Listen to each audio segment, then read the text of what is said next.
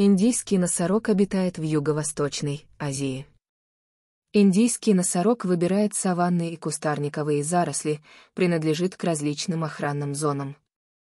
Индийский носорог — второе по величине животное в Азии после азиатского слона. Самые крупные особи достигают двух метров в длину, весят 3 тонны. Толстая розовато-серая шкура поделена на участки, благодаря чему выглядит как броня.